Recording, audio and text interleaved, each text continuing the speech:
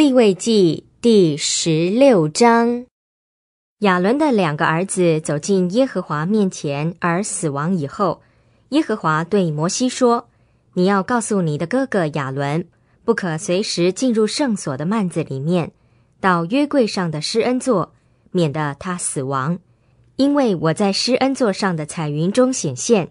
亚伦进入圣所时，要带一头公牛犊做赎罪祭。”一只公绵羊做燔祭，他要穿上细麻布的圣内袍，也要把细麻布的裤子穿在身上，腰束细麻布的带子，头戴细麻布礼冠，这些就是圣衣。他要先用水洗身，然后才穿上圣衣。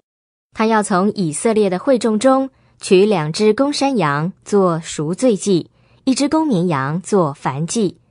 亚伦为自己的罪献上做赎罪祭的公牛，为自己和家人赎罪，然后把两只公山羊牵来，放在会幕门口耶和华的面前。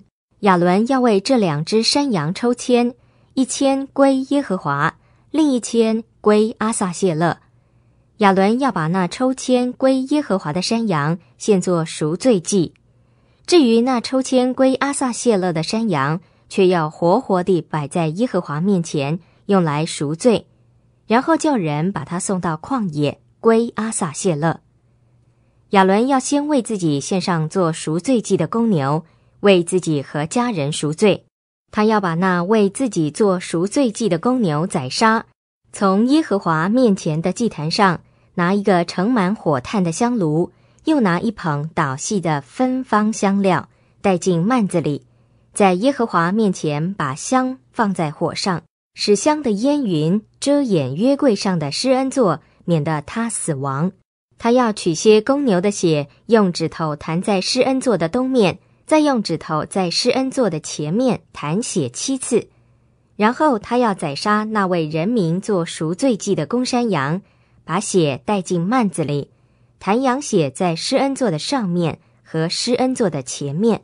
好像弹公牛的血一样，他要为圣所赎罪，使圣所脱离以色列人的不洁和他们的过犯，就是他们的一切罪孽。然后他又要为会幕同样的赎罪，因为会幕和他们在一起，在他们的不洁中间。他进入至圣所赎罪的时候，会幕里不可有人，直到他为自己和家人。以及以色列全体会众赎了罪出来为止，他出来就到耶和华面前的祭坛那里为坛赎罪。他要取一点公牛的血和山羊的血抹祭坛的四角，又用指头向祭坛弹血七次，洁净祭坛，使它分别为圣，脱离以色列人的不洁。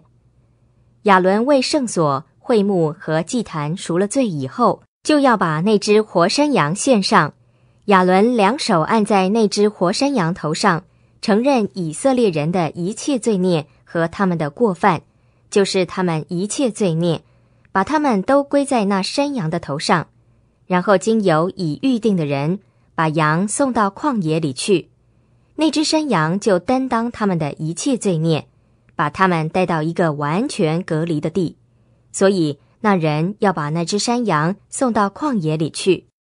亚伦要进会幕，把他进圣所时所穿的细麻布衣服脱下，放在那里，然后在圣洁的地方用水洗身，穿回自己的衣服出来，把自己的燔祭和众民的燔祭献上，为自己和众民赎罪。